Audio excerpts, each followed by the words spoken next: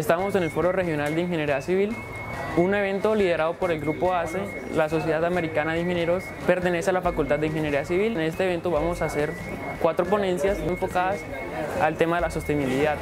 Y el objetivo de este evento es vincular la academia con diferentes entidades públicas. Este foro va enfocado a, las, a tres facultades, la Facultad de Arquitectura, Ingeniería Ambiental y Ingeniería Civil. Este foro es organizado por el grupo ASC Los estudiantes son los encargados y gestores de este espacio para las demás facultades, en los cuales se abordarán los temas de sostenibilidad, maquinaria y equipo, plantas de potabilización de agua y tratamiento de tanques. El objetivo principal es que los alumnos puedan conocer el contexto regional que tenemos de ingeniería y, puedan eh, tener un acercamiento más a, su oficio como tal.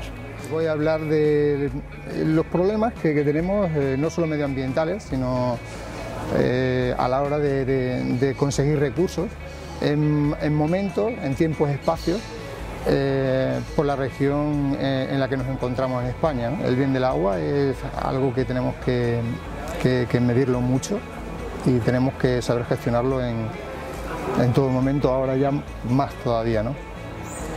Nosotros eh, hemos tenido que diseñar un sistema de reparto en el país porque los recursos hidrológicos cada vez han ido en, en decadencia y, como tal hemos tenido que tomar alternativas diferentes. ¿no? Pero nosotros como ingenieros tenemos que saber optar entre esa alternativa, entre las que tengamos, para cogerla mejor y poder definir la solución del problema que, podemos tener. Es importante asistir a esos eventos porque nos permite desarrollar una mejor carrera profesional y nos permite ampliar nuestros conocimientos y nos permite también eh, obtener unas ideas de experiencia de, acerca de otros profesionales.